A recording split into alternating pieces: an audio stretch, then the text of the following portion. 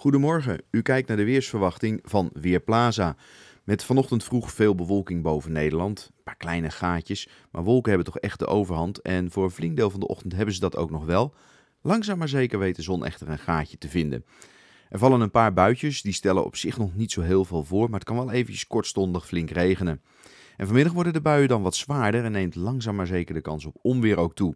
Staat een stevige wind, bij zee is de wind in elk geval krachtig, windkracht 6 en het is 16 tot 18 graden.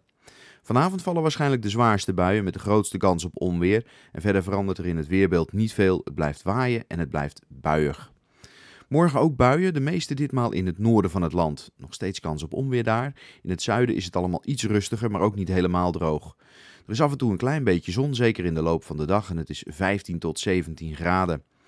Maandag, dinsdag en woensdag gaat de temperatuur langzaam iets omhoog. We komen in de buurt van de 20 graden en de buienkans neemt weliswaar iets af, droog wordt het niet. Vanaf dinsdag is er wel meer zon, het blijft stevig waaien. Ik ben Marco Verhoef van Weerplaza.nl